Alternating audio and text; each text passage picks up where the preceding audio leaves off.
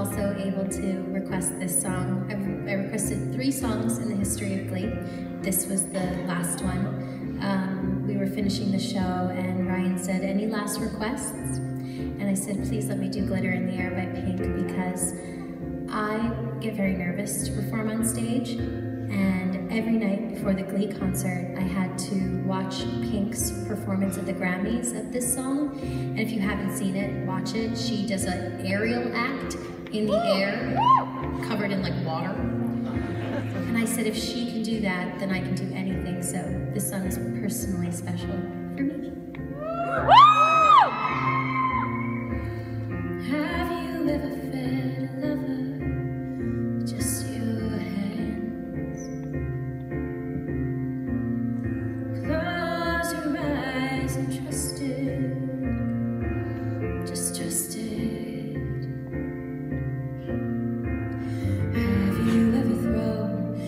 just full of glitter